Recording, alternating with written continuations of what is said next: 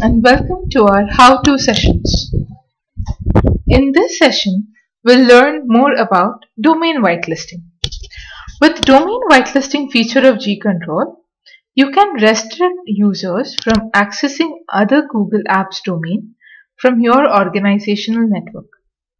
You can add domains to be allowed and the domains which are not specified as allowed domains will be blocked.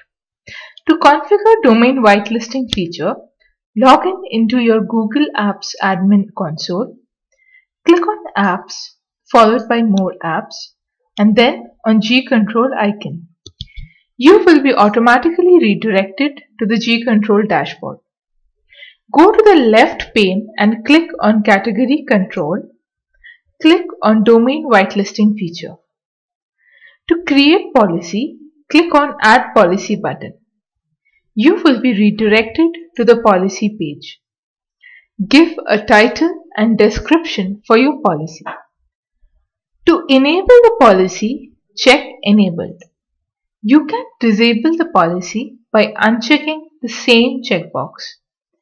To keep the policy valid all the time, check Valid Always option. To keep the policy enabled for a specific duration, define to and from dates.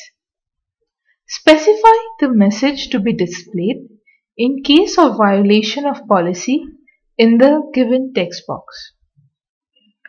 To add allowed domain names to the policy, click Add Domain button.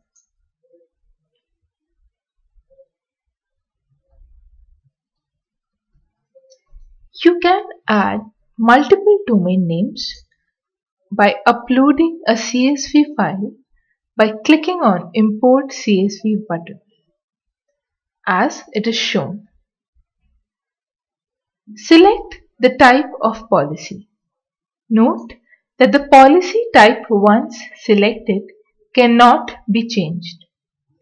In case of user-based policy, click on Add User button to add users to the policy. In case of multiple users, click on Upload a CSV file by clicking Import CSV button.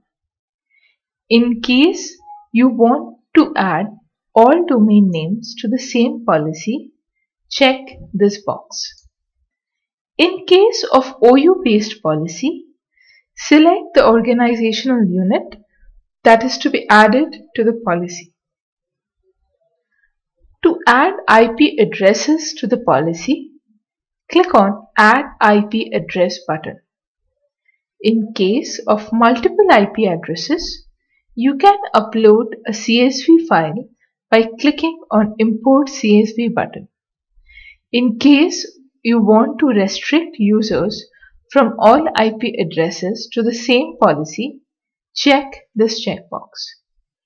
Select person to be notified in case of policy violation.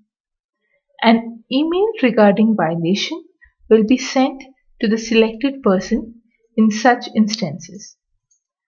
Click on Save to save the policy. Thank you for your time.